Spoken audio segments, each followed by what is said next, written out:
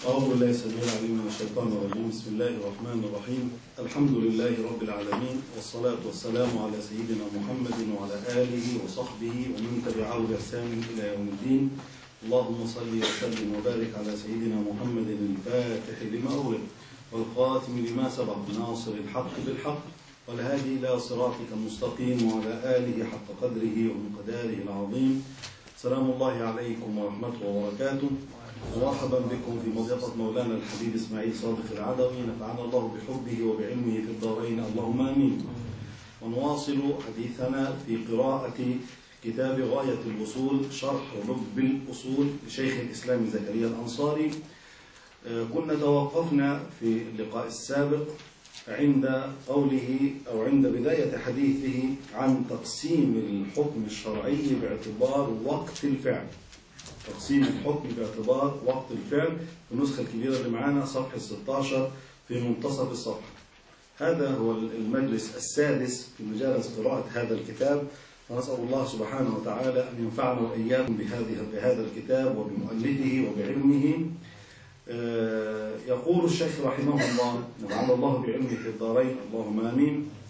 يقول والأصح أن الأداء فعل العبادة صوما أو صلاة أو غيرهما أو فعل ركعة من الصلاة في وقتها مع فعل البقية بعده. واجبة كانت أو واجبة كانت أو مندوبة. في هذه الفقرة سيبدأ المصنف شيخ الإسلام زكريا الأنصاري يشرح قوله اللي هي الفقرة المتعلقة بتقسيم الحكم الشرعي باعتبار وقت الفعل. بداية العلماء بيقولوا إيه؟ كمدخل لهذا لهذه الفقرة يقول الله سبحانه وتعالى أمرنا بأشياء وكلفنا بها. هذه التكليفات الشرعية إما أن يكون لها وقت محدد أو ليس لها وقت محدد. التكليفات إن كان لها وقت محدد له بداية وله نهاية فإما أن يكون وقتها مساويا لفعلها لا يزيد ولا ينقص وهو ما يسميه العلماء بالواجب المضيق أو يكون وقتها أزيد من الوقت المحتاج لفعلها وما يسميه العلماء بالواجب إيه؟ الموسع كلاهما داخل تحت القسم الذي يعنون له العبادة التي لها وقت محدد. هذا القسم هو الذي يأتي فيه كلام المصنف اللي هو تقسيمه باعتبار وقت فعل العبادة. فعلت العبادة قبل وقتها ولا بعد وقتها ولا في أثناء الوقت؟ هذا محل الكلام. طب والقسم الآخر اللي هو فعل العبادات أو التكليفات الشرعية التي ليس لها وقت محدد. مثلا كالإيمان بالله ما وقته؟ البر الوالدين ما وقته؟ الأمر بالمعروف والنهي عن المنكر ما وقته؟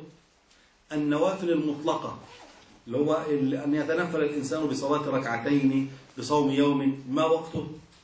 ليست لها أوقات محددة هذه العبادات التي ليس لها وقت محدد سواء كان فعلها على سبيل الفورية كالإيمان بالله أو من رأى منكرا وعنده القدرة على تغييره بدرجاته وبشروطه هذه التكليفات التي ليس لها وقت محدد لا تدخل في التقسيمات التي معه. فلا يوصف فعلها بأنه أداء ولا يوصف فعلها بأنه إيه؟ قضاء يوصف فعلها بأنه تعجيل. نعم قد يدخل فيها قسم واحد وهو الإعادة في من مثلا تنفل بنافلة صلى ركعتين لله سبحانه وتعالى ثم بعد الانتهاء تبين له أنه كان قد صلى بلا طهارة هذا يندب في حقه أن يتطهر ويعيد الركعتين اللذين صلاهما بدون؟ طهارة يبقى دخل قسم واحد هو إيه؟ الإعادة هناك من العبادات ما قد يشتبه بالواجب الموسع ويذكره العلماء. ويسميه العلماء بالواجب ذو الشبهين وهو المسمى بالحج عبادة الحج. عبادة الحج وقتها في حق الإنسان العمر على القول بأنه متراخي فالوقتها العمر. يعني تفعل العام ده العام القادم العام الذي يليه فالوقت فيها موسع. لكن العلماء بيقولوا فيها إيه؟ وقت الفعل نفسه. وقت أداء الفعل. كم يسع؟ عشان يسموها ذو الشبعين الواجب المضيق معناه أنك لا تستطيع أن تفعل العبادة مرة أخرى اللي هو فعلها من جنسها يعني مرة أخرى في نفس الوقت زي رمضان مثلا صوم رمضان مثل صوم رمضان. في رمضان 30 يوم والعبادة المفروضة هي الصيام في النهار لا تستطيع أن تصوم في رمضان غير نوع واحد من أنواع الصيام هو صوم الفرض. عندي مثلا صلاة الظهر. الوقت لها موسع. أنت لكي تصلي الظهر تحتاج فرضا مثلا إلى عشر دقائق. وقت صلاة الظهر يمتد إلى ثلاث ساعات. فتستطيع أن تفعل العبادة مرة ومرة ومرة ومرات متكررة من نفس نوع العبادة. تصلي الظهر مرة ثم تعيده في الجماعة الأولى ثم تعيده مع جماعة أخرى ثم تصلي قضاء. تستطيع. طب الحج. وقته المفروض موسع يخرج من سبعين يوم من ثاني يوم العيد الفطر إلى العاشر من المحرم العاشر من ذو الحجة. يخرج من سبعين يوم يعني الحج أشهر معلومات. تستطيع أن تحرم بالحج من ثاني يوم عيد الفطر وتبقى على إحرامك إلى العاشر من المحرم لأداء النسك. طيب في هذا الزمان سبعين يوم كم مرة تستطيع أداء الحج؟ كم مرة تستطيع فعله؟ هي مرة واحدة. فهو موسع من حيث زمان العبادة مضيق من حيث عدم إمكانية فعله إلا مرة في نفس الزمان. طيب الفعل افترض معي أنك أفسدته فعلت مفسدا للحج. متى تستطيع القضاء؟ في عام قادم وليس في نفس الزمان. فهو لا ينطبق عليه أوصاف العبادات التي ستأتي. لا ينطبق عليها أنه تعجيل ولا أنه إعادة. قد يدخل فيه أنه أدى الفريضة ينطبق عليه الأداء قد يدخل فيه القضاء ولكن القضاء دخول مجازي يعني تعبير مجازي لأن القضاء معنى فعل العبادة بعد وقتها المحدد. أنت لا تستطيع أن تفعل الحج بعد الوقت المحدد. أنت تفعل الحج قضاء في عام قادم في نفس الوقت. في في عام قادم في نفس الزمان. فهو تسمية مجازية. تسمية مجازية. الخلاصة أن العبادات التي ليس لها أوقات محددة من حيث البدء والنهاية لا ينطبق عليها هذا التقسيم الذي سيأتي. التقسيم الذي سيأتي ينطبق على العبادات التي نستطيع أن نقول أنه فعلها قبل وقتها أو فعلها بعد وقتها أو فعلها في الوقت المحدد. العبادات التي لها أوقات محددة. يدخل فيها أصالة الصلاة لأنها لها أوقات محددة. يدخل فيه الصوم لأن له وقت مفروض محدد. وما يمكن أن يقاس عليهما. زي مثلا النوافل الرواتب زي القضاء للصوم النذر للصوم الكفارات للصوم. اللي أنت أنت مثلا نظرت أن تصوم يوما يدخل قد يدخل هنا. قد يدخل في هذا إيه؟ الباب. ولذلك عند حديثه يقول الشيخ متحدثا عن الأداء كأحد الأقسام أو أول الأقسام الذي سوف يتحدث عنه. تقسيم الحكم الشرعي باعتبار الوقت المحدد للعباده العلماء لما بيجي يذكروا الأداء والقضاء والإعادة أو التعجيل يختلفون. هي دي من باب الحكم الشرعي ولا من باب الحكم ولا من باب متعلقات الحكم؟ يعني ده تقسيم للحكم نفسه ولا تقسيم لفعل المكلف نفسه فالجمهور على أنه تقسيم للحكم. وهذا ما صار عليه الشيخ هنا اعتبره تقسيما للحكم وليس تقسيما لفعل المكلف. فيقول الشيخ في بيان هذا الأصح أن الأداء يعني القسم الأول الأداء ما هو فعل العبادة. ما هو ما هي أنواع العبادة؟ صوما أو صلاة أو غيرهما مما يمكن أن يقاس عليهما مما يكون له أوقات محددة. فعل العبادة معناه فعل كل العبادة أو فعل ركعة من الصلاة في وقتها مع فعل البقية بعده. واجبة كانت أو مندوبة يعني كانت العبادة على سبيل الوجوب أو كانت العبادة على سبيل إيه؟ الندب لأن العبادات الواجبة لها أوقات محددة. العبادات المندوبة مثل مثلا سنن الرواتب لها أوقات محددة ولذلك هي مرتبطة بالفرائض. سنة الفجر قبل الفجر. سنة الظهر أربع قبل واثنين بعد. سنة المغرب اثنين بعد. سنة العشاء اثنين بعد. فهي مرتبطة بتوقيتات. فأنت إن فعلتها في هذا التوقيت تسمى إيه؟ تسمى أداء. أداء. أداء. أداء يعني فعلت العبادة في الوقت. هو هنا بيقول انتبه العبادة إما أن تفعل كلها في الوقت أو بعضها. بس هو ما عبرش بالبعض قال إيه؟ أو فعل ركعة. أو فعل ركعة. فعل ركعة من الصلاة في وقتها مع فعل البقية بعد وقتها. يعني بيتكلم عن صورة إنسان لم يصلي الظهر. حضر الدرس ونسي ونسي الصلاة وقال بعد الشيخ ما يخلص أصلي. فقارب الشيخ الانتهاء والعصر على وشك الأذان. فرح أي بسرعة قال لك ثم أدرك الصلاة. فصلى. بعد أن أتى بركعة وهو يهم بأداء الثانية أذن العصر. فما الذي وقع داخل الوقت؟ ركعة واحدة. والثلاث ركعات وقعت خارج الوقت. على هذا التعريف إن فعلت ركعة كاملة داخل الوقت حسبت له أداء. يعني يثاب ثواب الفعل داخل الوقت. نحن هنا لا نتكلم عن أفضلية الصلوات. لا بنتكلم على المجزئ الحد الذي يسمى فعله مؤذن أو فعله قضاء. لكن الأفضلية فلا فلا شك أن أفضل أحب الأعمال وأفضلها إلى الله الصلاة على وقتها. أما التأخير وإن كان جائز لكنه ليس في مقام الأفضل. إحنا الآن لا نتكلم عن المقام الأفضل ولا عن مقدار الثوب نتكلم عن المجزئ الذي يسمى فاعله أداء مؤذن أو الذي يسمى فاعله قاض لما عليه. فهو هنا جعل متى يكون الفعل أداء؟ إن فعل كله في الوقت. أو فعلت ركعة منه بعد الوقت. إن فعل كله في الوقت هذا يشمل الصوم ويشمل الصلاة. أو فعل بعضه في الوقت والبعض خارج الوقت لا يدخل إلا الصلاة. وإحنا ممكن نصوم بعض الصوم في الوقت وبعضه خارج الوقت؟ ما ينفعش. هتصوم يعني هتصوم نص النهار وكمل بالليل؟ التبعيض لا يدخل في الصيام يدخل في الصلاة. لكن هو هنا لم يقل بعض وإنما قال ركعة. لأن كلمة بعض كما سيأتي كلمة بعض قد تصدق بتكبيرة الإحرام وهي عند الحنفية مجزئة. لكن تكبيرة لو أنا كبرت كبرت للصلاة وأنا أقرأ الفاتحة أذن العصر. على هذا التعريف هذا الفعل كله يحسب إيه؟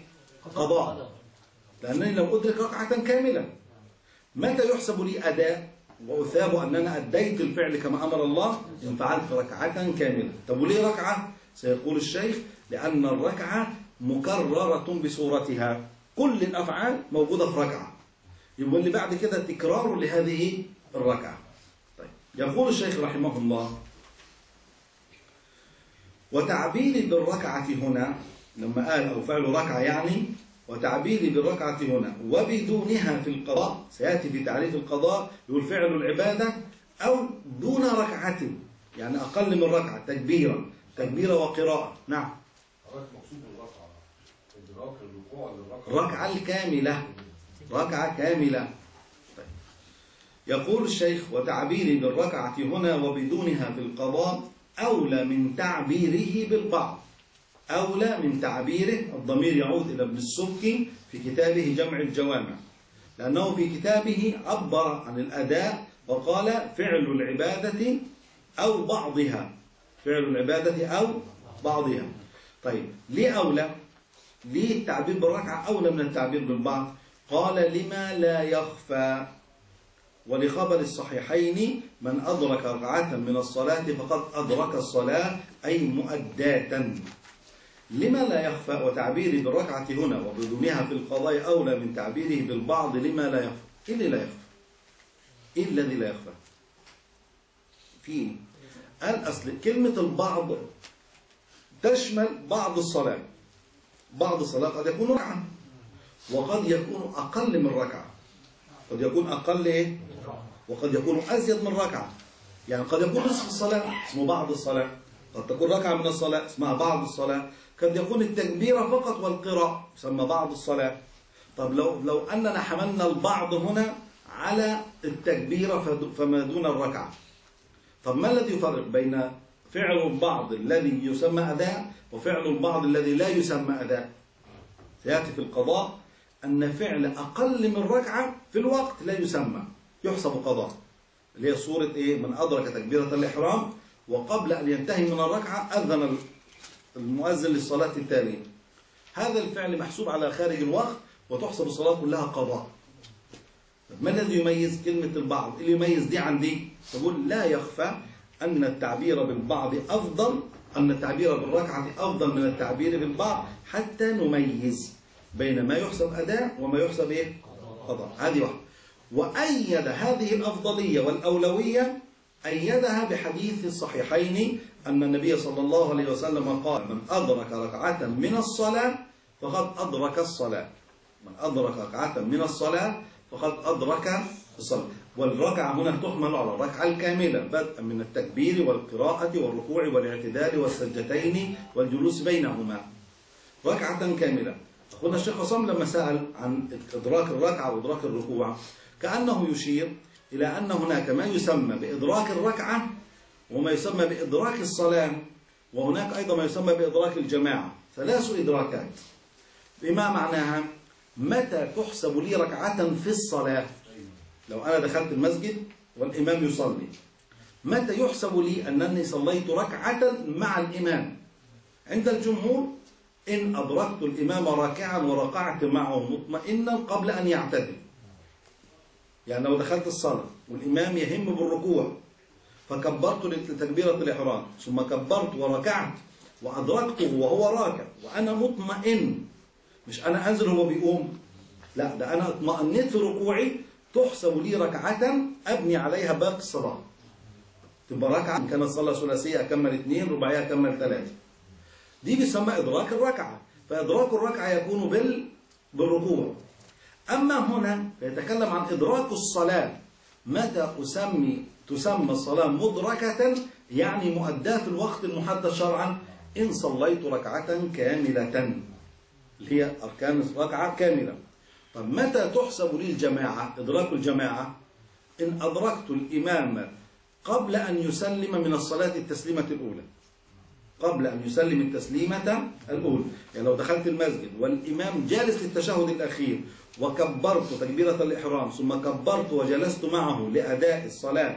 وجلست جلست قبل أن ينطق بالسلام التسليمة الأولى حسبت لي ثواب جماعة.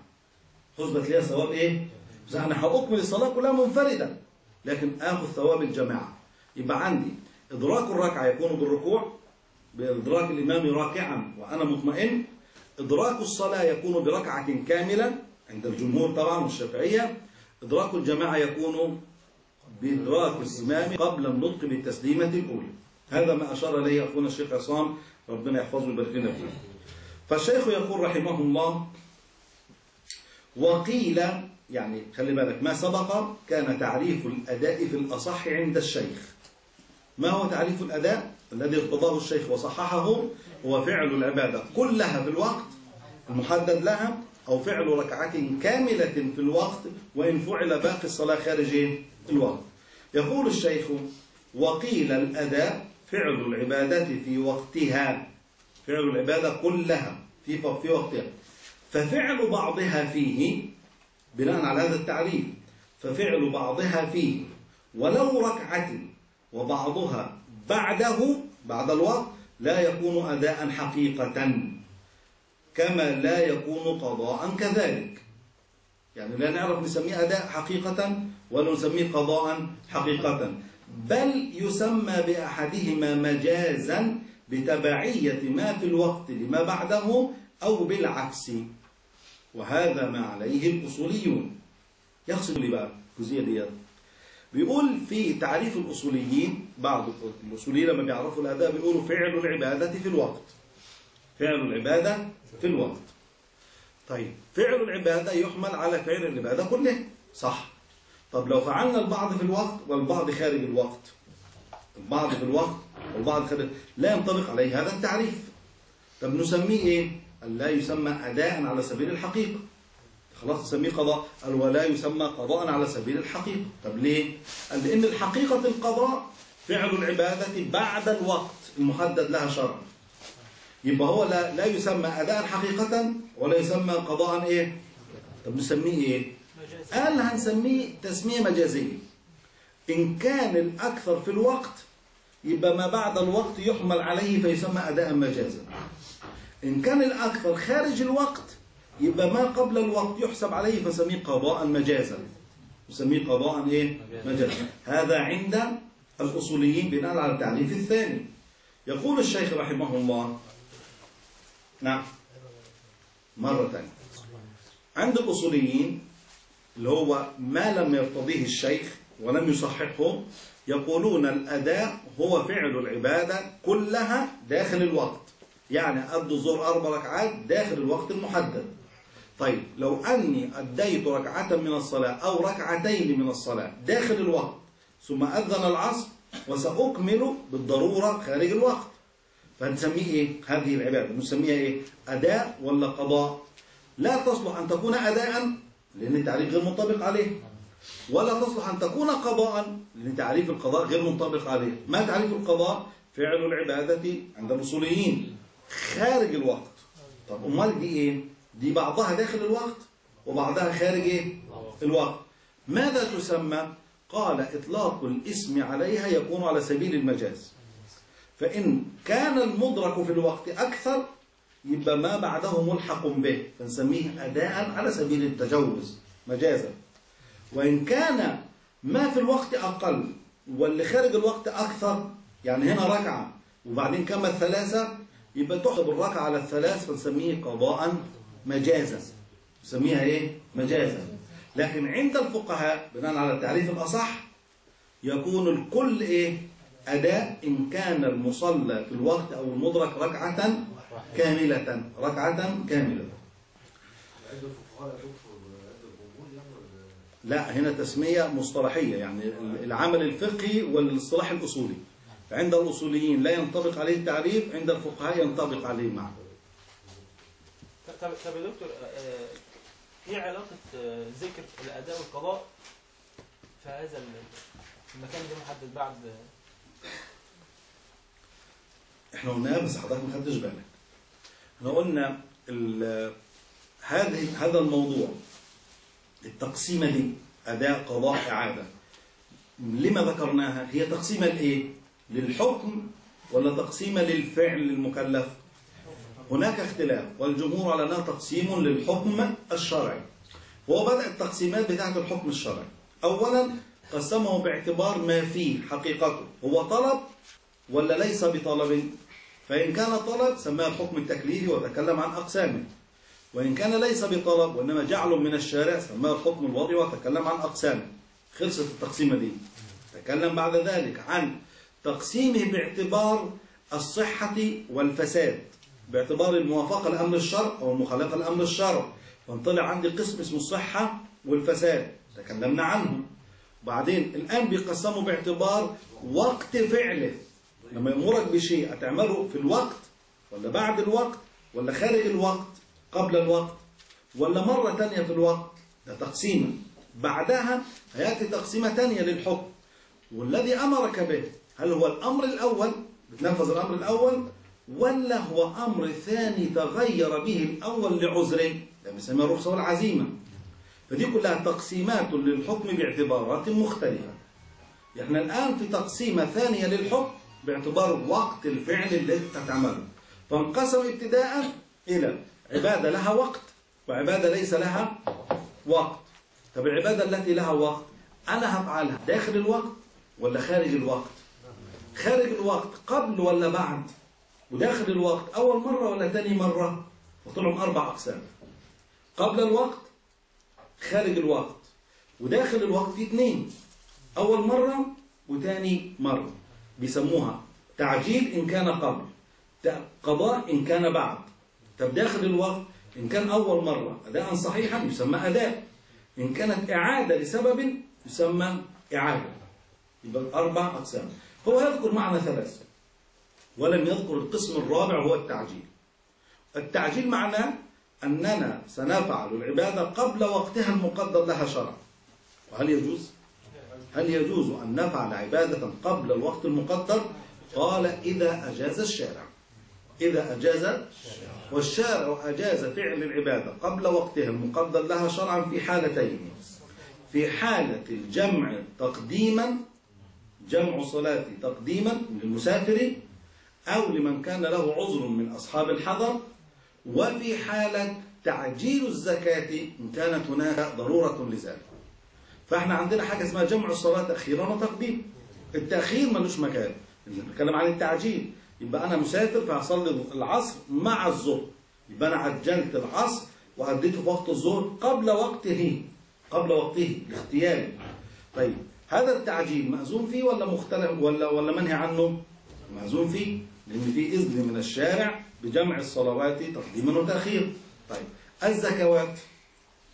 عندي في زكاة الفطر؟ وفي زكاة المال.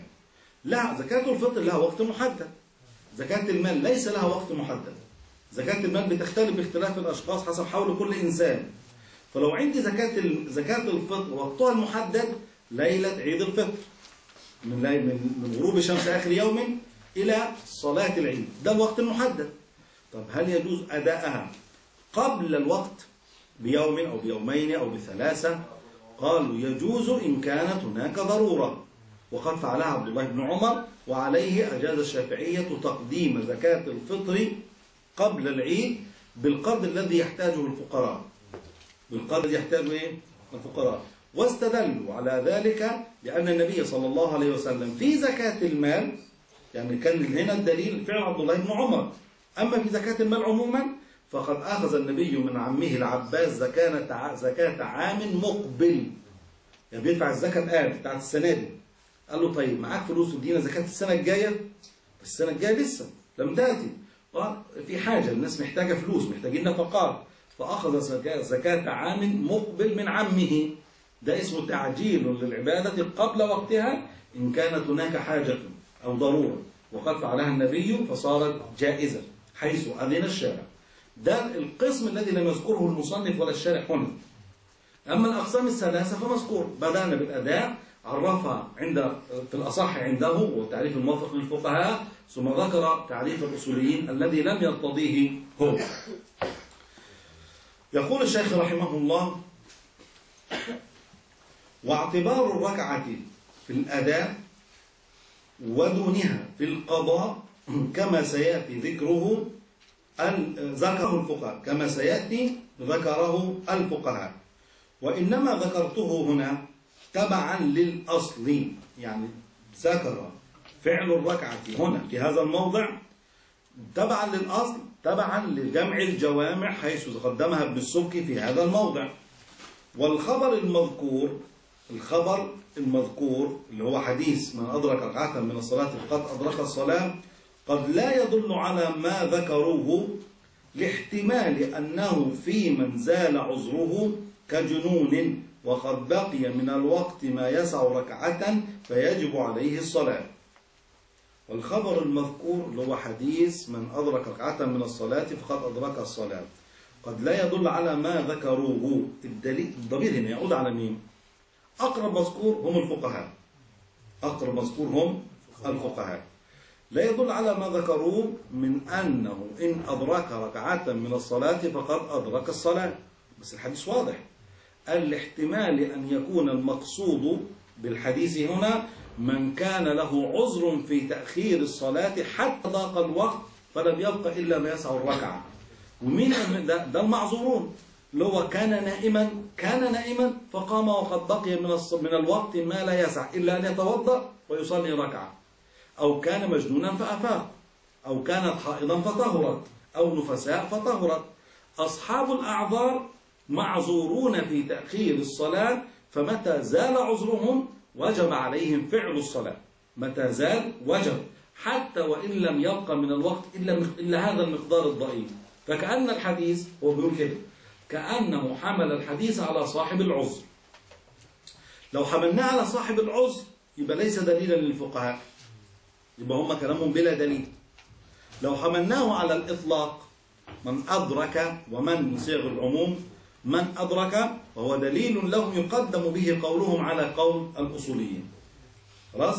لكن في هذا الكلام لما الشيخ يقول وما ذكروا والخبر المذكور قد لا يدل على ما ذكروه ده تضعيف لقول الفقهاء ولا استحسان له؟ تضعيف. ومع ذلك صحح القول.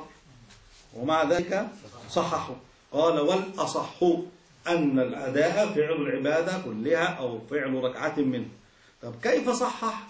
هو يضعف كأنه يريد أن يشير إلى وجه الضعف الذي يمكن أن يتطرق إلى هذا الكلام. لينتبه له من يتصدى للدفاع عن الفقهاء. يعني هو يصحح رأي الفقهاء ويبني عليه. لكن ينبه إلى وجه ضعف عندهم.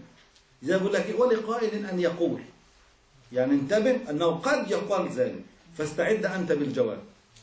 إن قال قائل نقول هذا احتمال ولا دليل عليه. والأصل في الألفاظ أن تبقى على دلالتها. والدلالة عامة. من أدرك عامة. تشمل صاحب العذر وتشمل من لا عذر له. يعني لو أن إنسانا يشاهد التلفاز. يقول لهم صلي يا مولانا الظهر إن شاء الله يا أخي ربنا كريم الوقت واسع. بس ما خلص الماتش. ويضل يسمع التلفزيون ويحلم من قناة قناة. بص كده تلاقي يذوب فاضل ربع ساعة على الوقت. وينتهي. على ما دخل الحمام وتطهر وخرج فرش المصلية وصلى لم يدرك إلا ركعة وقد أذن. صلاته مؤداة يعني أدى لكن الكلام في الثواب وعدمه يرجو من الله الرحمة والعفو. لأن ده تكاسل حتى كاد الوقت أن يخرج. ونخشى عليه أن ينطبق عليه قول الله عز وجل فويل للمصلين الذين هم عن صلاتهم ساهون. قالوا يسهى حتى يكاد يخرج الوقت. يسهى ده بقى مش ساهي ده ده بيلعب. ده بيلعب حتى كاد الوقت أن يخرج. فهذا يعني يخشى عليه والعياذ بالله. طيب. يقول الشيخ رحمه الله وهو أي وقت العبادات المؤداة زمن مقدر له. بيشير بقى الجزئية اللي إحنا قدمناها اللي هي العبادة التي لها وقت والتي ليس لها وقت. وهو أي وقت العبادات المؤداة سواء كان صلاة أو صوما واجبا أو مندوبا أو مندوبا. يقول زمن مقدر لها شرعا.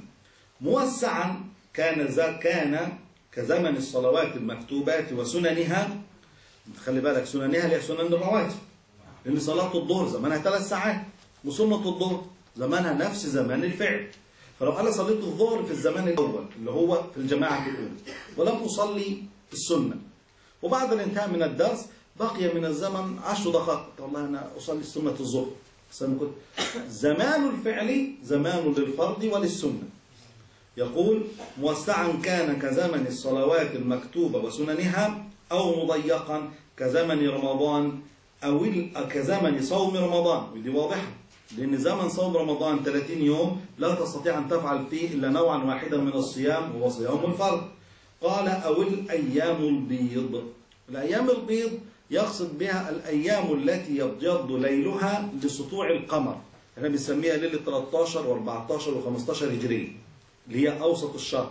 يبقى القمر فيها اقترب من الكمال فيبقى الضوء شديد. حتى لو طفيت من أنوار المصباح تجد الإضاءة في الشوارع وفي الصحراء وعلى سطح البيوت قوية.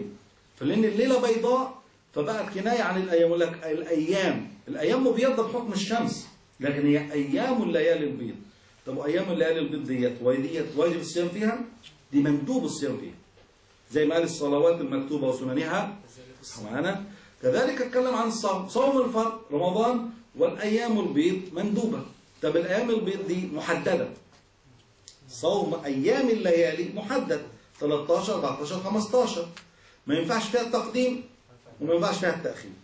يبقى فعلها في هذا الوقت أداة مضيق ما انه مضيق ما يحتملش آخر. ما يحتملش نوع تاني. طيب. خلي بالك كلمة نوع آخر مقصود بها هنا يعني ما ما ينفعش تصومها على إنها سنة وتصوم على إنها فرض في نفس التوقيت. هي مضيقة. تحتمل نوع واحد بس. تحتمل نوع واحد فقط يعني جمع النية ما ينفعش فيها؟ آه، عند الجمهور ما يصلحش. عند الجمهور ما يصلحش الجمع. يعني مثلا أنا بقول لك أهو عند الجمهور ما يصلحش. عند الشافعية أظن بلغني أو سمعت من أحدهم إن في قول في الشافعية بجواز جمع النية فيه يعني امرأة عليها قضاء من رمضان. فينفع تيجي في الأيام الثلاثه دي وتتعمد صومها لتحصل الفضيلة. فضيلة القضاء إنها أدت ما عليها وفضيلة الموافقة لما يحبه الرسول صلى الله عليه وسلم. طب هل هذا خاص بالصيام الأيام البيض ولا بجمع النية في اي ما إذا صح في الأيام البيض أيام الليالي البيض هيصح في كل النوافل. فينطبق هذا الكلام على ست من شوال ينطبق على الاثنين والخميس. على وهكذا مثلا الصلاة مثلا آه، أنا داخل اصلي صلاة تحية المسجد وفي نفس الوقت سنة قبلية للصلاة. ينطق في النوافل الجمع النيات في النوافل جائز. إنما الفرض والنية الاختلاف فيها هي دي النفس آه. إنما في النوافل تكثير النيات فيها مطلوب. أنا داخل المسجد بنية الاعتكاف وبنية العبادة وبنية حضور الدرس وبنية كل دي يعني النيات النيات في النوافل يجوز تعدد. يعني يعني الج- الجمهور منع ال- ال- الفرض والنفل الفرض والسنة. فرض والنفل الشيخ زكريا يجوز يعني. الشيخ زكريا نفسه يقول بالجواز. اللهم لك الحمد والشكر. حبيبنا الشيخ زكريا رحمه الله ونفعنا الله به يقول الشيخ وهو أي وقت العبادات المؤداة زمن مقدر لها شرعا موسعا كان أي هذا الزمن كزمن الصلوات المكتوبة وسننها أو مضيقا كزمن رمضان أو الأيام البيض فهنا بقى الكلام اللي هو تحرير محل الخلاف الأول فما لم يقدر له زمن شرعا. أي العبادة أو التكليف الذي ليس له زمن. كنذر ونفل مطلقين. أنا قلت لله علي لو ربنا نجانا هصوم ثلاث أيام. متى؟ لم أحدد. لا في هذا الشهر ولا في هذا الأسبوع. ده اسمه النذر مطلق. أو النفل المطلق اللي هو أنت بتصلي ركعتين لله. مش عشان هم صلاة الظهر. أنا قاعد كده ما اتوضى أصلي ركعتين لله يمكن ربنا يفرج عني. ده اسمه نفل مطلق. النفل المطلق ليس له زمن. شرطه ألا تتحرى به وقت القراءة ما يبقاش وقت قراءة لكن لو أنا جيت في, في الليل كله من بعد غروب الشمس إلى طلوع الفجر ده وقت كله المتاح فيه النفل. فأنا في أي وقت وأنا قاعد كده قلت إيه؟ بدل ما واحد قاعد كده أنا هتوضى أصلي ركعتين لله. نفل مطلق لا زمن له. طيب أنا جيت مثلا النهاردة الاثنين بكرة الثلاثة الأربعة أنا هصوم بكرة. ما بكرة مش سنة يعني إيه فيه؟ لا أنا بدل ما كده أم- هتخس شوية عشان الكرش والكلام ده. مش أنا يعني. فده ده اسمه نفل مطلق. آه، النظر المطلق كذلك. لكن لو بقى محدد لله علي أن أصوم يوم الخميس القادم ده مقيد. ده النذر المقيد. هو بيتكلم هنا إن النذر المطلق والنفل المطلق وغيرهما وإن كان فوريا كالإيمان آمنوا بالله ورسوله أمر. وده على سبيل الوجوب الفوري. الآن مش فكروا بعدين تعالى بعد أسبوع. الآن لا يسمى فعله أداء ولا قضاء اصطلاحا. يعني التعريف الاصطلاحي اللي هو فعل العبادة في وقتها لا ينطبق عليه لأنه ملوش وقت. ليس له وقت. وإن كان الزمن ضروريا لفعله. انت عشان تصوم محتاج يوم عشان تصلي محتاج وقت. الزمن موجود لكن ليس محدد بداية ونهاية. ومن ذلك أي من هذا التكليف الذي ليس له زمن محدد بداية ونهاية ومن ذلك ما وقته العمر. ده على القول بالتراخي كالحج. الحج على القول بالفور يبقى عند أول الإمكان يبقى مش العمر كله. متى استطعت إليه سبيلا وجب. وكلما أخرت تأثم تأثم تأثم حتى تبرئ الذمة. أما على القول بالتراخي فإن شاء الله السنة دي إن شاء الله السنة الجاية إن شاء الله لما أجوز العيال. القول بالتراخي بيخليك على العمر كله محلا للفعل ما لم يغلب على ظنك الفوات. يغلب على ظن الفوات إن حدثت مثلا آه، مرض مزمن يمنع من الحركة إصابة بمرض مهلك من أمراض العصر عافانا الله وإياكم. هنا يغلب على الظن الفوات يبقى تضيق عليك الأمر. وهو مفهوم الكلام يا إخوان؟ طيب. يقول ومن ذلك ما وقته العمر كالحج. يقول الشيخ وتسمية بعضهم لوقته موسعا. يعني مجاز تسمية مجازية. إذ الموسع ما يعلم المكلف آخره. يعني أقول إيه؟ الظهر صلاة وقتها موسع عارف لها بداية وعارف لها نهاية والزمان كبير طب والحج وقته إيه؟ طول موسع آخره إمتى بقى؟ أنا عارف بدايته لكن ما أعرفش آخره بدايته وقت حصول القدرة والاستطاعة هنا يبدأ بقى العد طب نهايته إمتى؟ الله ده على القول بالتراخي القول بأنه إيه؟ واجب وجوبا متراخيا وقوله وتسمية بعضهم لوقته موسعا مجاز إذ الموسع ما يعلم المكلف آخره. يقول الشيخ وآخر العمر لا يعلمه إلا الله لا يعلمه المكلف فلا يسمى فعله أداء ولا قضاء اصطلاحا. يعني التعريف الاصطلاحي ما يمشيش عليه. ما بيحصل يقول لك إيه؟ وعليه القضاء من عام جديد. فاكرين القصة بتاعت الجمع في يوم عرفة؟ عليه القضاء من عام. طب ما إحنا قلنا هو قضاء.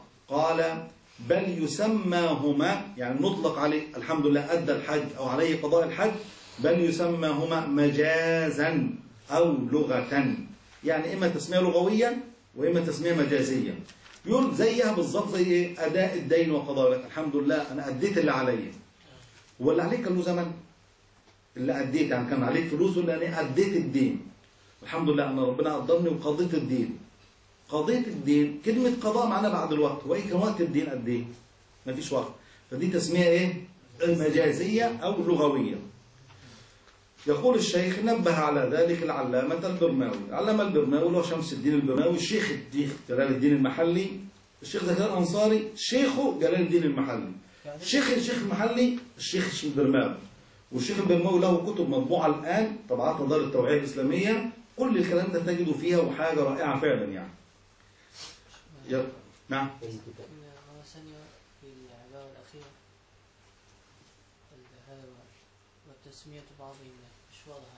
نعم أخوكم بيسأل على السطر الأول من صفحة 19 في النسخة في صفحة 17 في قول الشيخ زكريا رحمه الله وتسمية بعضهم لوقته موسعا مجازا آه، هو هنا بيتكلم فيه الشيخ بيقول إن في نوع من التكليفات لها وقت لفعلها. لكن لم يرد لها زمن محدد للفعل. يعني أنا عشان أحج عشان أحج لازم يكون الحج في شهر ذو الحجة. في العشر الأول بدءا من اليوم الثامن إلى اليوم الثالث عشر الخمس أيام أو ست أيام دول. ده الوقت الذي أستطيع أداء الحج فيه. لكن هذا العام أو العام القادم أو العام الذي يليه لم يحدد الشارع زمنا. لم يحدد زمنا. ده العلماء بيقولوا إيه؟ الحج زمنه العمر. ده على القول بأن الحج يجب وجوبا متراخيا. على القول بأن الحج يجب وجوبا فوريا فهو يجب فورا على من استطاع إليه سبيل طيب لو قلنا بالتراخي وأنا الآن الآن أنا استطعت عملت جمعية جات لي مكافأة اكتسبت بعض المال وعندي مبلغ يكفيني لأداء الحج وعندي الصحة والحمد لله. لكن عندي أولويات. هل أحج وأنا صغير السن؟ ولا أتزوج؟ ولا أشتري شقة؟ ولا أشتري سيارة؟ ولا أزوج الأولاد؟ أولويات. على القول بالفورية يجب العام في أول زمن الاستطاعة وإلا أثم. على القول بالتراخي حتى مع وجود القدرة أنت لا يجب عليك الآن. إنما يجوز لك أن تؤخره إلى ما شاء الله بحيث لا يغلب على ظنك الفوات. يبقى العام القادم الذي يليه بعد سنتين بعد ثلاث حسب ما يسر ربنا سبحانه وتعالى. لكن الفلوس موجودة والصحة موجودة. ده فكرة اسمه الذي زمانه العمر. طيب ده ليس له وقت محدد من حيث البداية وليس له وقت محدد من حيث النهاية. الأداء كلمة أداء اصطلاحا. فعل العبادة في الوقت المحدد. ده ليس له وقت محدد. يبقى تسمية الحج فعلي للحج أداء غير منضبطة طيب القضاء اصطلاحا سيأتي الآن فعل العبادة بعد الوقت المحدد. الحج ليس له وقت محدد. ففعله له وتسمية هذا الفعل قضاء غير منضبطة اصطلاحا. اصطلاحا يعني. يعني جعله منضبط تحت التعريف التعريف. الآن في صلاة الظهر. لها وقت محدد بداية ونهاية. من صلى الظهر الآن صلاة صحيحة نقول أداء. ودخلت تحت التعريف فعل العبادة في الوقت المحدد لها شرعا بشروطها وأركانها. انضبطت. انضبطت تحت التعريف. طب من نام حتى خرج وقتها؟ أو لعب خلينا لعب أفضل ده بلا عذر. وخرج وقتها فعل العبادة بعد الوقت دخل تحت القضاء اصطلاحا. فالتعريف منطبق عليه. الحج فعله لا لا ينتظم أحد التعريفين. فلا يدخل تحت الأداء اصطلاحا ولا تحت القضاء إيه؟ اصطلاحا. لكن وجدنا هو بيقول كده بعض العلماء يسمي فعل المكلف للحج فعلا صحيحا يسميه أداء. وإن أفسده يسمي فعله بعد ذلك قضاء. حتى في اللقاء الماضي لما قلنا من جامع في يوم عرفة عليه بالمفسد والمبطل بالفاسد والباطل. قلنا في الفاسد اللي هو الجماع قبل التحلل الأصغر ده مفسد للحج حكمه يتم الأعمال الحج وعليه القضاء من العام التالي. مع إن القضاء معناه فعل العبادة بعد الوقت. فين الوقت؟ مفيش وقت. طب أنا لو قلت وقت الحج الحج ينتهي شرعا باليوم الثالث عشر اليوم الرابع عشر من ذو الحجة. الثالث عشر. الثالث عشر. اليوم العاشر ده يوم العيد الحادي عشر الثاني عشر الثالث عشر عند غروب الشمس ينتهي الحج ينتهي شرعا بحيث يستطيع الإنسان أن يحرم بالعمرة في صلاة العشاء. الحج نفسه الحاج الشخص ينتهي حجه في غروب الشمس يوم الثالث اللي هو اليوم 13 يستطيع أن يحرم بالعمرة بعد غروب الشمس. خلاص الحج خلص هيعمل عمرة بقى وخلاص. ولا يسمى قارنا. طب هل هذا وقت الحج بحيث أنه يستطيع أن يفعل بعد الوقت؟ لا ليس وقت. طب ما أنت تصف فعله بالقضاء. هو يقول الشيخ تسمية بعض العلماء لوقت الحج وقتا موسعا تسمية مجازية. ده رقم واحد. تسمية الوقت موسع ده تسمية من باب المجاز. ليه؟ قال إذ الموسع ما يعلم المكلف آخره وآخر العمر لا يعلمه الإنسان فلا يسمى فعله أداء ولا قضاء اصطلاحا. هذه واحدة. بل يسمى هما يعني ما يقع من تسمية الفعل أداء أو ما يقع من تسمية الفعل قضاء في الحج دي يسمى هما مجازا أو لغة واداني مثال أفهمه قال كأداء الدين. لو واحد عليه فلوس ودفع الفلوس اللي عليه للدائن. هو بيقول إيه؟ يقول ممكن يقول والله الحمد لله أنا أديت الفلوس اللي عليا أو يقول قضيت الدين الذي علي. قضى وأدى الدين ليس له وقت. حتى يسمى فعله أداء أو اخراج بعض يسمى قضاء. يقول هذه تسمية لغوية أو مجازية فكذلك الحج. نعم ما المانع من تسمية آه، يوم عرفة وأيام الحج؟ ما المانع من القول بأنها وقت محدد للحج؟ ال- لا هو وقت للفعل. وقت للفعل. وليس وقتا محددا على المكلف لأداء الحج. يعني؟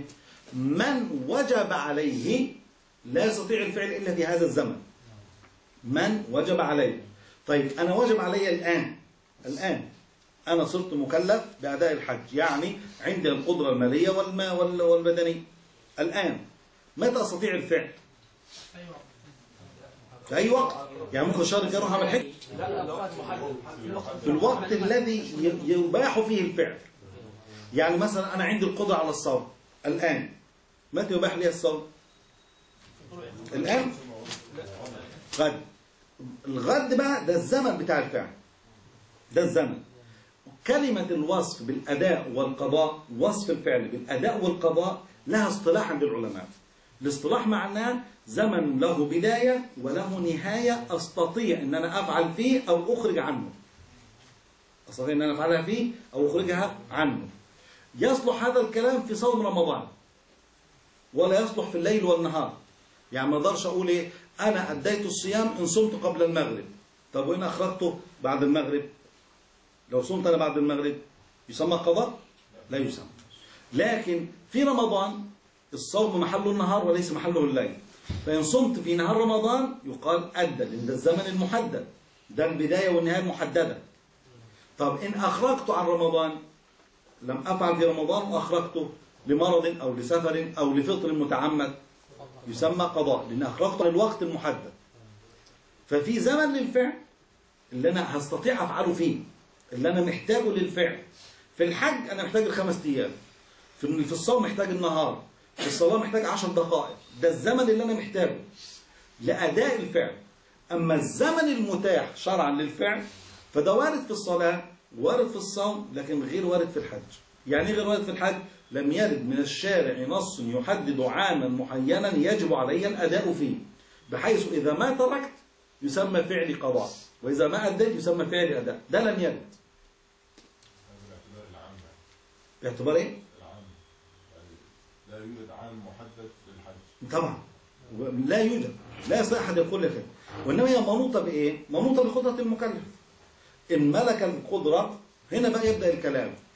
يجب على الفور ولا يجب على التراخي؟ ودي محل تاني لا يوصف فيها الفعل بأداء ولا بقضاء نعم مش بس الدين الدين عادة له له موعد ما هو موعد. مش عادة مش عادة. فاكتبوا دي وثيقة طب فإن أمن بعضكم بعضا ما في وثيقة؟ وانت ممكن تشترط دي تقول أنا محتاج المبلغ ده لأول الشهر. ماشي؟ وممكن تقول أنا محتاج مبلغ بس لحد ما ربنا يفرجها. لما ربنا يفرجها دي إمتى بقى؟ آه. الله المستعان. يعني اذا الدين ليس له وقت في حاله عدم تنفيذ الوقت. أصل الدين الحدود. الدين معاملة. متروك فيها الأمر بإذن الشارع للأمانات. فلو أنا محتاج المدة محددة وحددتها لك هنا بقى يبقى أنا إيه التزمت أو لم ألتزم أديت أو قضيت. طب لو أنا لم أحدد؟ وجيت سددت أو أخرت هتصفه إزاي؟ فين الزمن اللي هتصف من خلاله؟ فهيقال هيقال أدى وقضى. يقول لك سدد الله أو قضى الله عنه أو أدى الله عنه. وصفته بالأداء إزاي؟ وهو مش زمن.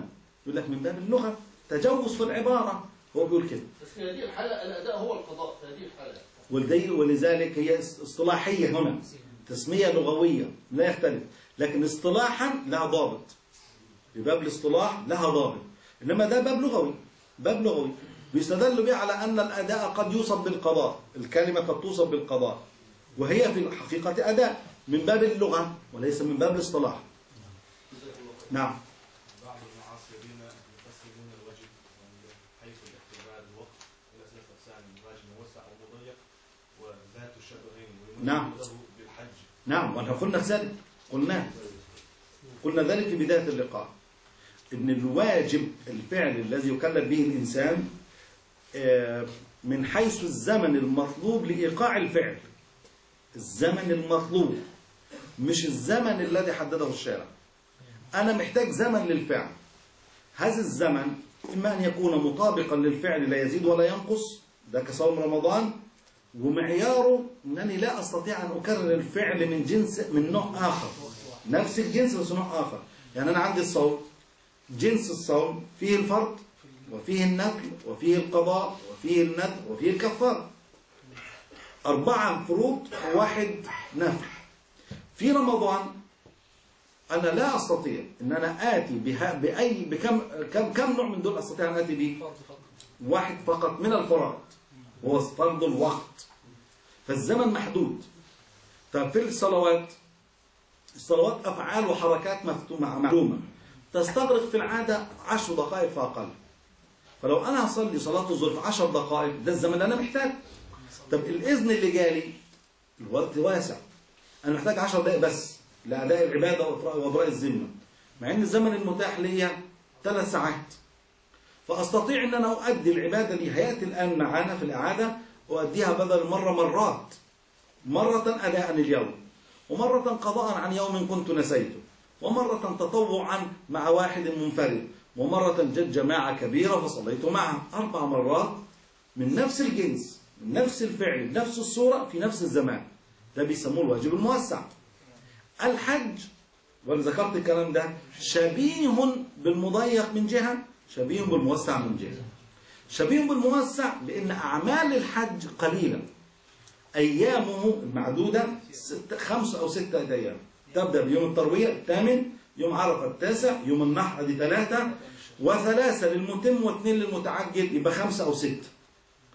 الخمسة أو ستة أيام ده الزمن المطلوب لأداء الفعل زي العشر دقائق بتاعت إيه؟ الصلاة. ده الزمن المطلوب. في حين الزمن المأذون فيه بالإحرام بالحج سبعين يوم. ما يقرب من سبعين يوم من ثاني يوم عيد الفطر إلى اليوم العاشر.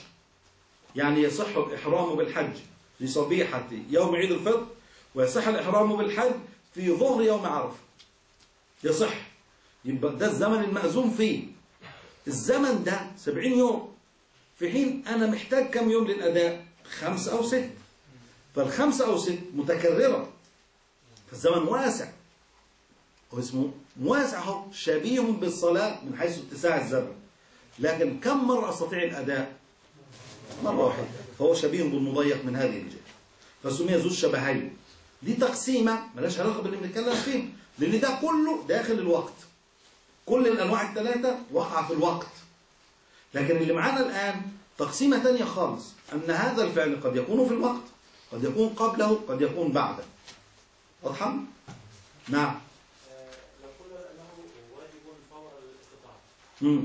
ده بالحج بالحج نعم وأنا استطعت هذا العام الا الا يمكن ان يعتبر هذا العام اي عام الاستطاعه هو العام المحدد لي بحيث اذا اجلته إلى العام الثالث اصبح قضاء لا ما نقدرش نصفه بالقضاء لأن ما فيش عندي نص ما فيش عندي نص يوجب علي الفعل في هذا العام بحيث يكون هو معيار الفعل بالنسبة لي. الزمن بيبقى العام ده المعيار بتاعي الذي أوله واخره هو الفعل. إذا كان مختلف فيها أصلا. هو مختلف هو فوري ولا متراخي. هو مختلف فيها. فأنا هأبني على قول وأصف بناء على قول طب والقول الثاني راح فين؟ وخلي بالك الكلام ده كله هنا مبني على القول بالتأخير. وذلك الشيخ قيدها الذي زمانه العمر نعم أنا أنا هنا فقط أتحدث فقط لو اننا قلنا بالنحو على على الفور الا الا تعد الاستطاعه الاستطاعه هي المعيار بالنسبة لي يعني أنا استطعت هذا العام اذا قيدت بهذا العام بحيث ان اذا اتيت هذا العام اصبح اداء استطاعه اذا اجلت إلى العام الثاني اصبح قضاء آه، أصبح أداء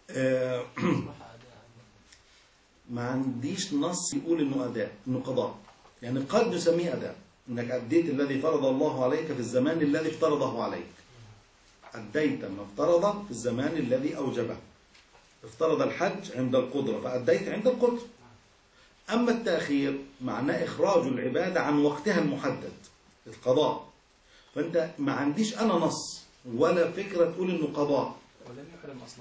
لا ده عندك قضية تانية إن المقضي ليس في في في في الثواب كالمؤدى إلا لغير.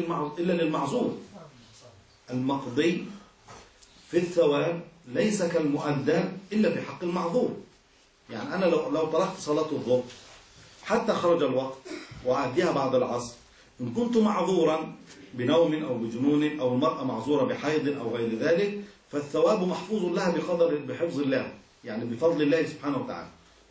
أما غير المعذور اللي كان بيلعب كورة وما صلاش أو اللي كانت بتطبخ وما صلتش أو اللي قاعدة تسمع أغاني ومسلسلات أو تلفزيون وما صلتش أو أو إلى غير معذور ففعله مسقط للتكليف لكن غير موجب للثواب لأنه مقصر.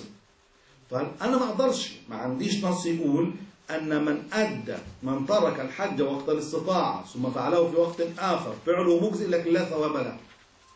لا دي أنا ما أقدرش أحكم بيها دي. ما أقدرش أحكم بيها. طيب آه انتبهوا إن إحنا هنا عملنا إيه؟ استطردنا في موضوع الحج استطراد خد ما يخرج بنص ساعة. استهلك فينا الوقت. وإحنا القاعدة عندنا إن الأمثلة بتضرب للم... للمثال والإفهام وليس للبحث والتفتيش. يعني نجيب مثلا مثال الحج عشان نوضح القضية.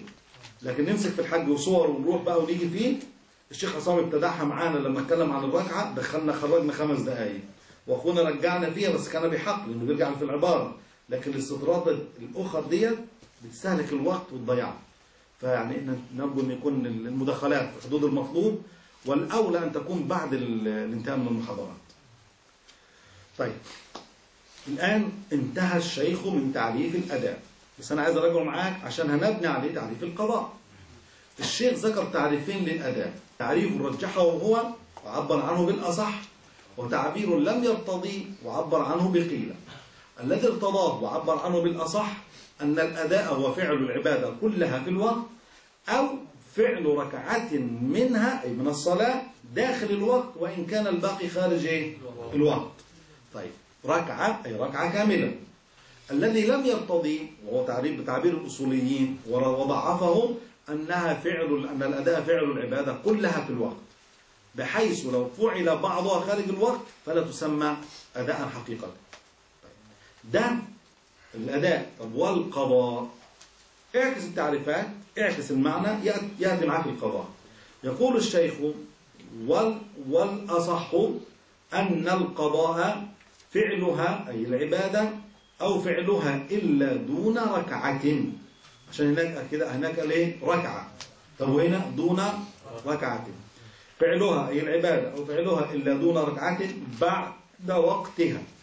يعني ما دون الركعة وقع في الوقت. والباقي من الصلاة وقع خارج الوقت. هو أحرم توضأ وفرش المصلى وأحرم بالصلاة وقرأ الفاتحة وركع لكن أذن العصر وهو في الركوع.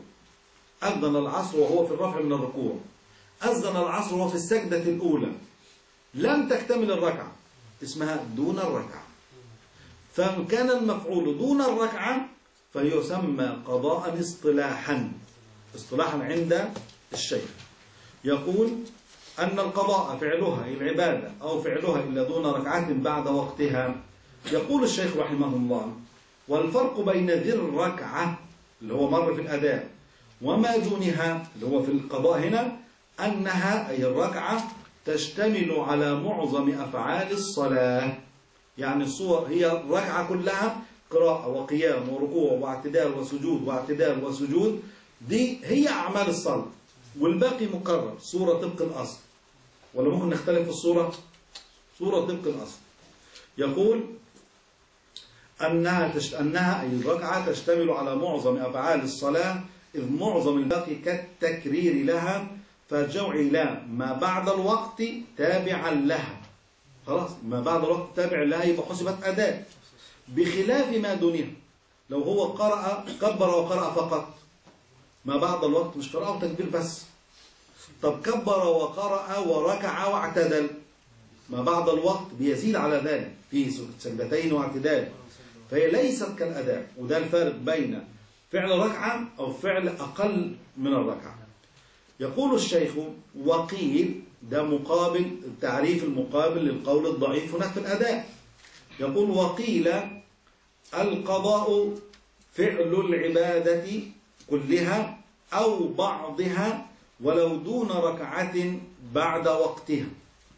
فعل العبادة كلها أو بعضها ولو دون ركعة بعد وقتها.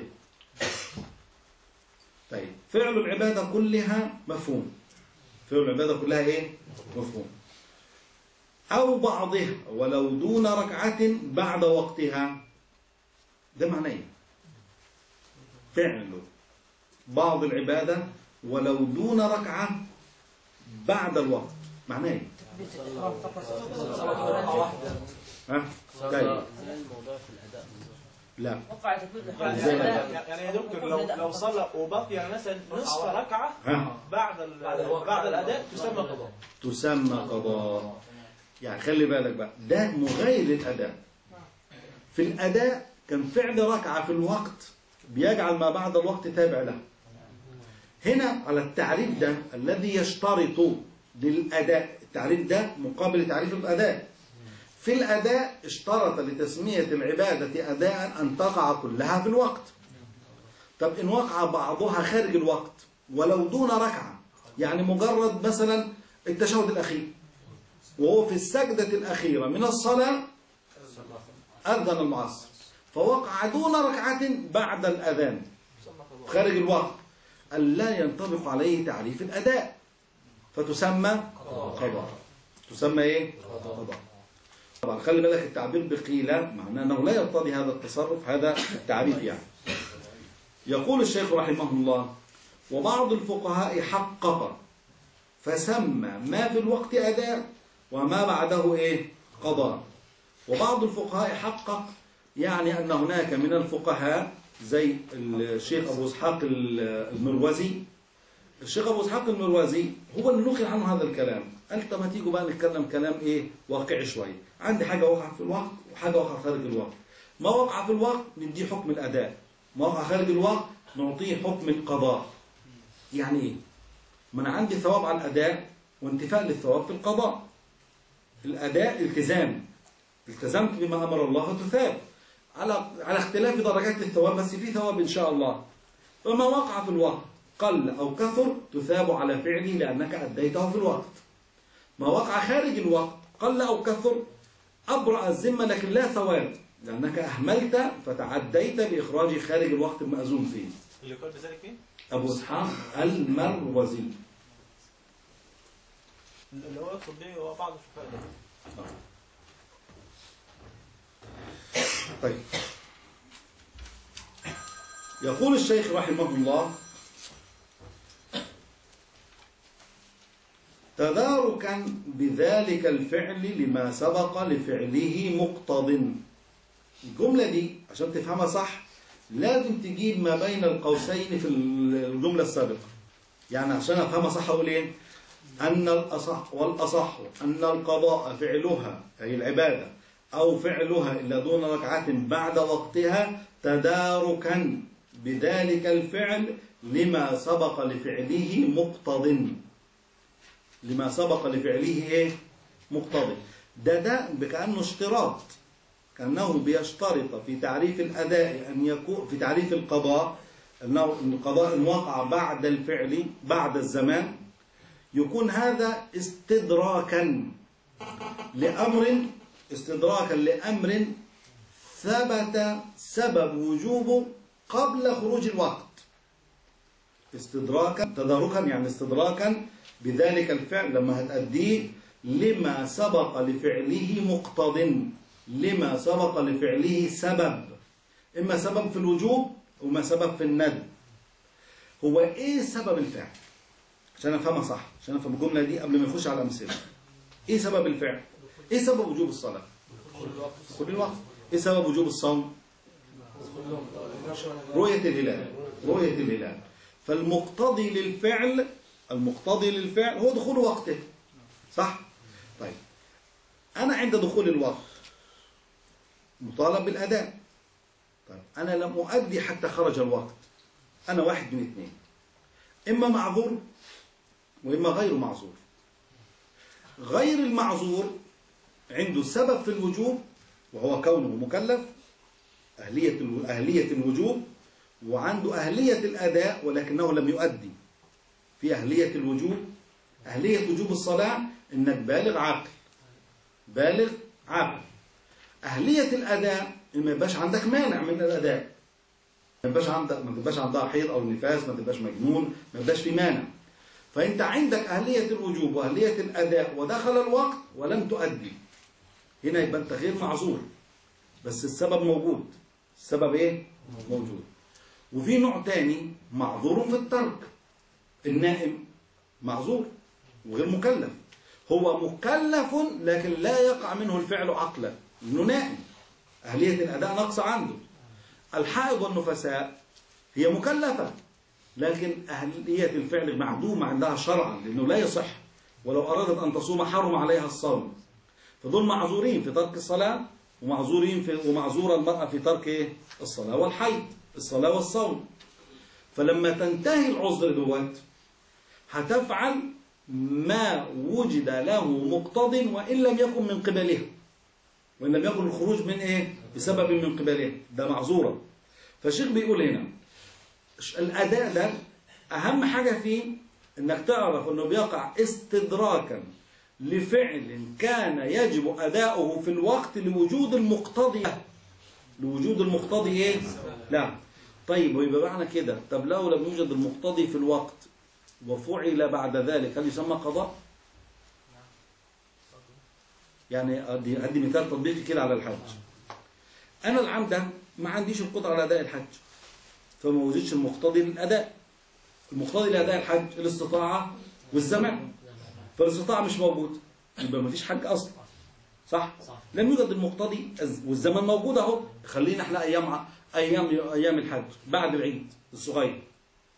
وما فيش قدره على ما فيش حج طب وجد المقتضي بعد ذلك بعام. هل أستطيع أن أقول إن الفعل بعد ذلك يسمى قضاء لا. لأنه لم يوجد مقتضي له. لو يوجد مقتضي إيه؟ لا. ده كمثال. طب تعالى في الصلاة. الآن دخل وقت صلاة الظهر. يبقى وجد المقتضي للفعل. فإما أن تفعل وإما أن تترك. وإن تركت فإما معذور وإما غير إيه؟ معذور. وفي الاثنين عليك القضاء. في الاثنين عليك القضاء. الشيخ بيشير لذلك يقول القضاء يعني الجملة من أولها صحيحة وأن القضاء فعلها أي العبادة إلا أو فعل فعلها إلا دون ركعة بعد وقتها تداركا بذلك الفعل لما سبق لفعله مقتض اللي هو سبب الوجوب لو دخول الوقت في الصلاة ورؤية الهلال في رمضان وجوبا أو ندبا. خلي بالك إن الوجوب اللي هو مثلا زي في صوم رمضان الندب زي الأيام البيض. الوجوب في الصلاة اللي هو زي صلاة الظهر الندب زي السنن الرواتب مع صلاة الظهر. يقول سواء كان المقتضي المقتضي اللي هو السبب يعني الذي أوجب الأداء. من المتدارك كما في قضاء الصلاة المتروكة بلا عذر وهذا يجب عليه المبادرة بأداء ما تركه لأنه مقصر آثم في الترك أو من غيره كما في قضاء النائم الصلاة والحائض الصوم فإنه سبق لفعلهما مقتض اللي هو دخول الوقت أو رؤية الهلال. هذا المقتضي من غير النائم ومن غير الحائض. لا من, لا منهما. وإن مع الوضع في الاعتبار وإن انعقد سبب الوجوب أو الندب في حقهما. لأن سبب الوجوب هو أهلية التكليف. الأهلية موجودة لكن المقتضي للفعل مش موجود. مش موجود ليه؟ لأنه ما عندوش القدرة عنده المانع من الفعل. عنده المانع من الفعل.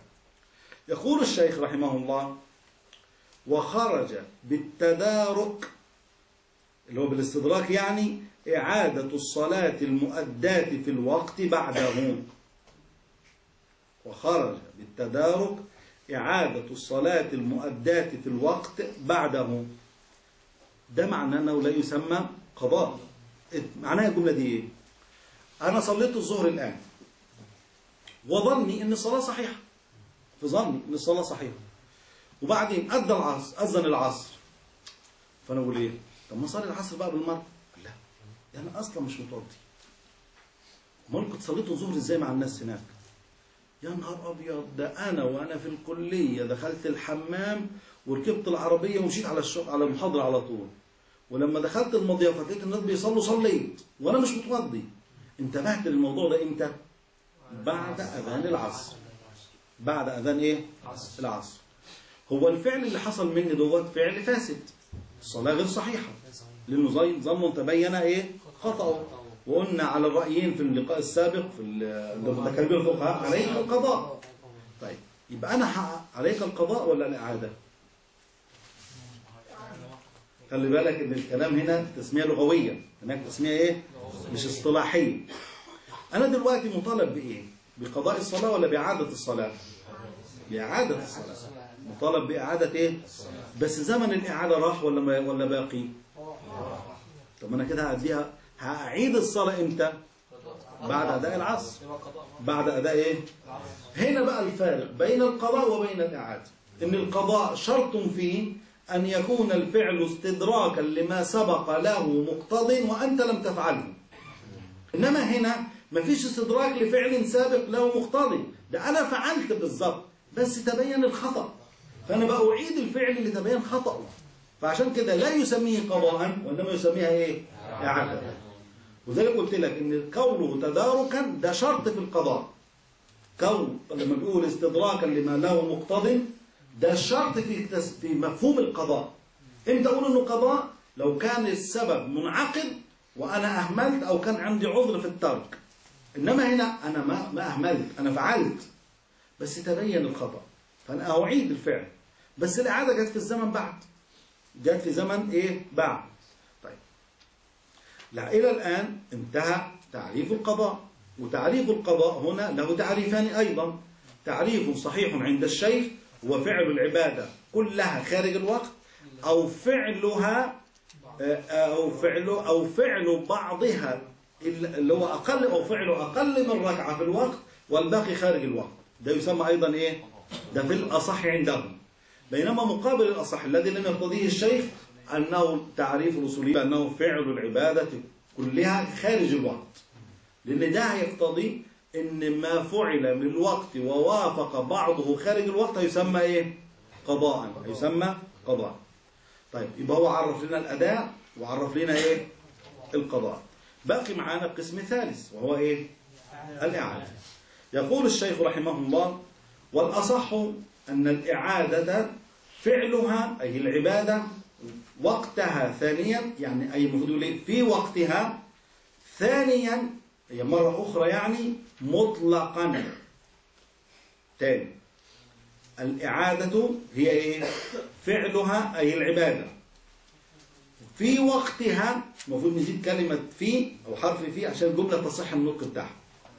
أن الإعادة فعلها أي العبادة في وقتها ثانيا يعني مرة ثانية يعني الفعل مرة ثانية مطلقا.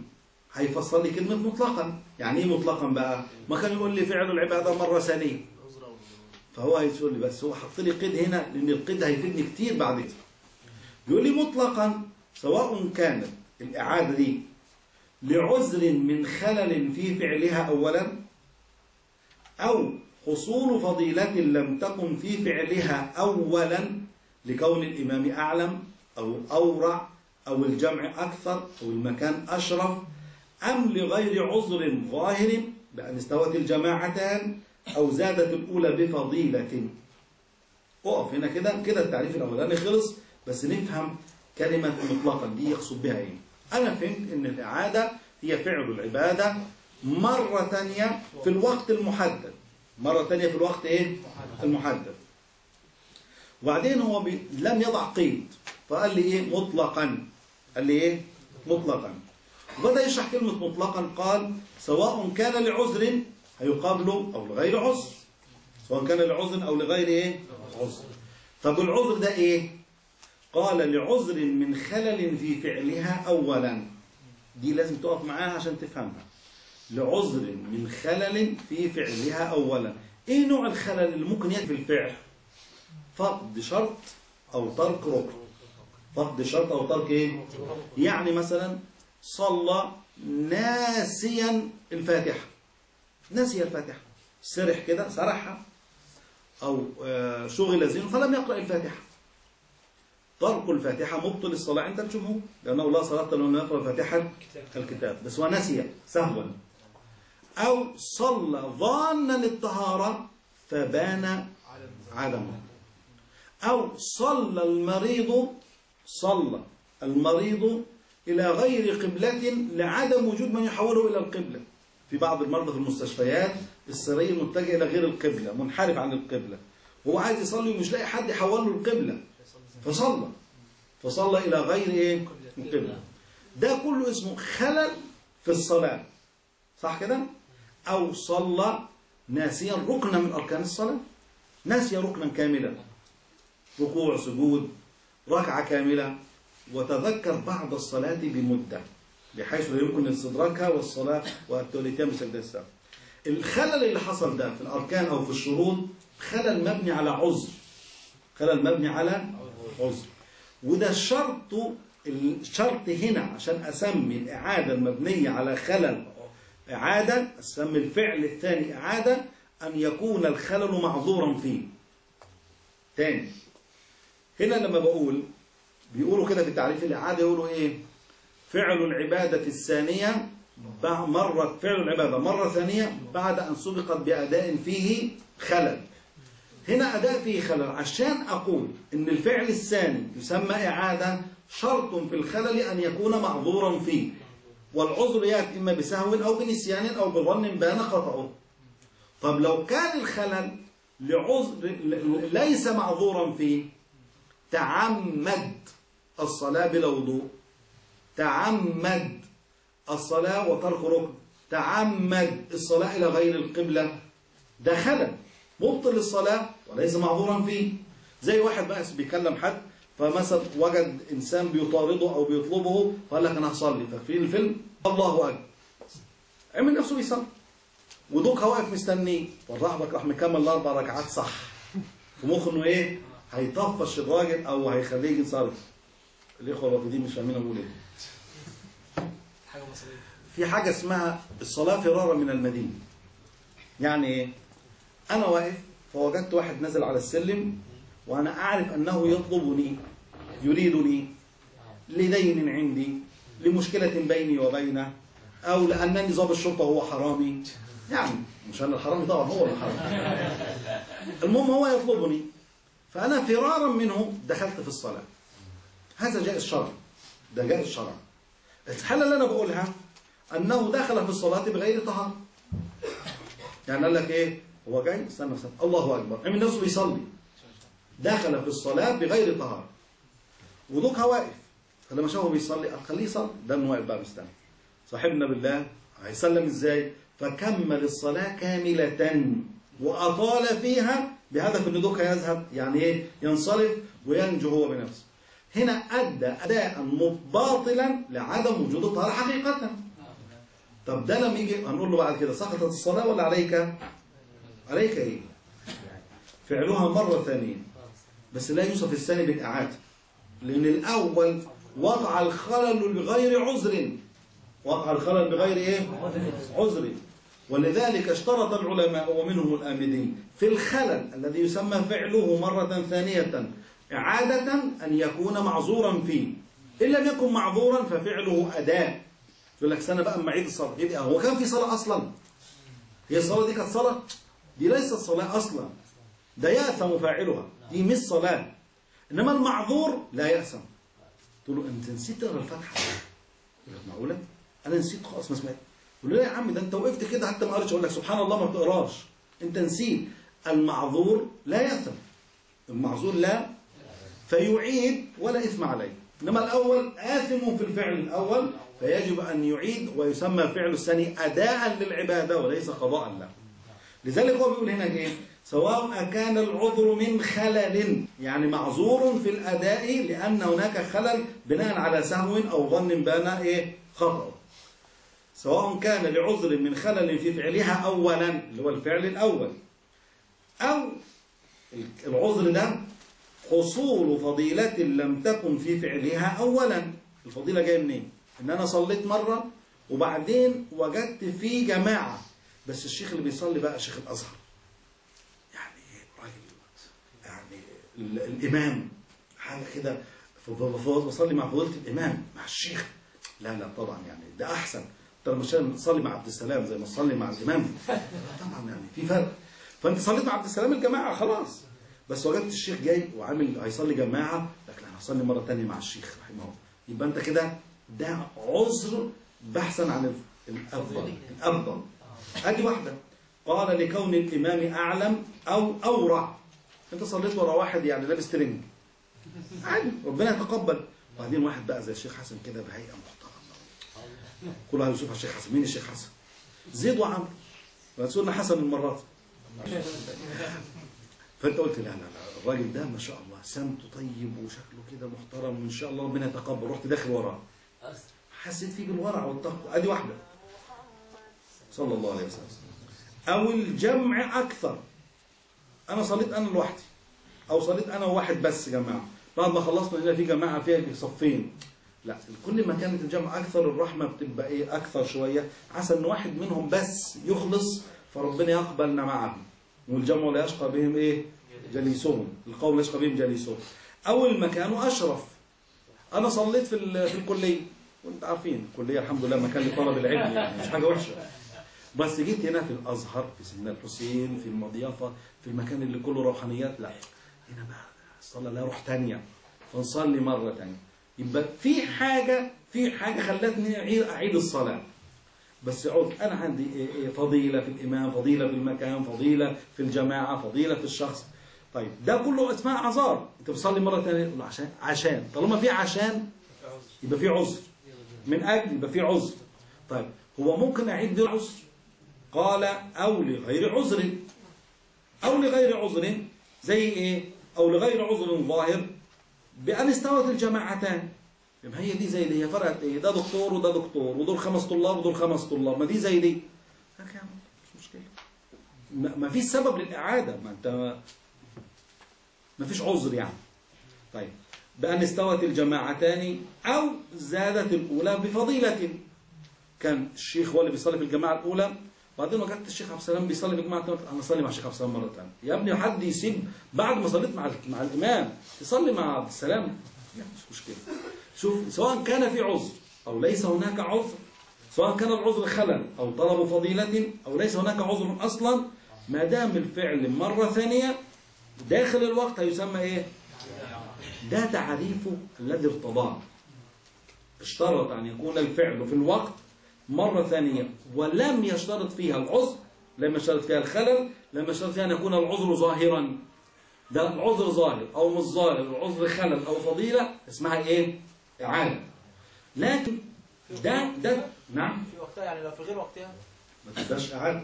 بس خلي بالك في غير وقتها زي الصورة اللي بنقولها ديت لا دي كان حاجة تانية. لأن دي ده عشان يخرجها من القضاء قال لك كان سببها انعقد وأداها بخلل فهيعيدها وإن وقع الأداء خارج الوقت عشان يميز بينها وبين الأداء بينها وبين القضاء. ما تلخبطش ما تلخبطش اثنين في بعض الله يهديك. طيب ده التعريف اللي هو ارتضاه وعبر عنه بالأصح. شوف الثاني بيقول فيه إيه؟ وقيل الإعادة مختصة بخلل في الأول وعليه الأكثر. يعني الأكثر من الأصوليين والمشهور عنهم أن الإعادة مختصة بالخلل يعني لا أسمي الفعل إعادة إلا إذا كان الأداء الأول فيه خلل فيه خلل بعذر طبعا يعني طيب وإذا كان ده الأكثر ليه أنت خالفته؟ ليه المخالفة؟ ما هو ده الأكثر ليه صححت أنت الثاني؟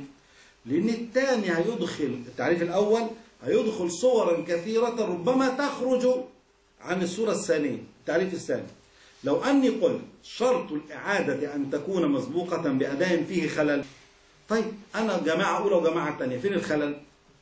طب الجماعة الثانية هتصب بإيه؟ أنا صليت في جماعة أولى وبعدين صليت تلاقيت في جماعة ثانية دخلت فيها وهي نفس الجماعتين في العدد نفس الجماعتين في الإمام في المكان في الزمان الثانية دي ما وصفها؟ ستكون بلا وصف نفي ما هي كلها نفي تبقى أداة ولا قضاء ولا وقت تبقى إيه؟ إيه الوصف بتاعها؟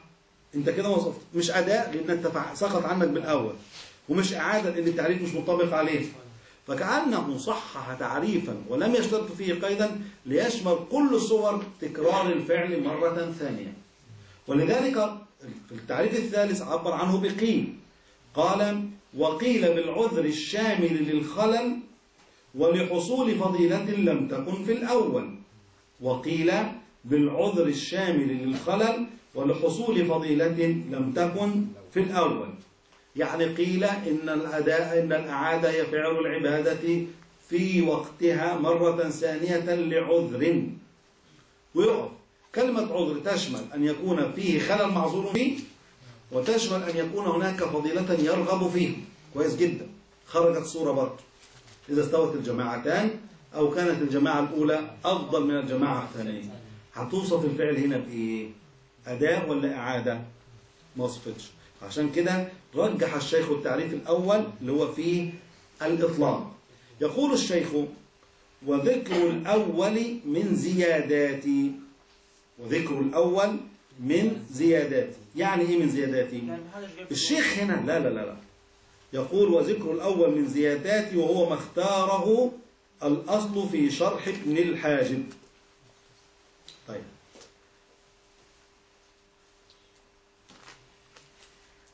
هنا ذكر الشيخ ثلاث تعريفات. صحح التعريف الذي فيه الإطلاق. ولم يرتضي وضعف التعريف الذي فيه شرط الخلل أو لا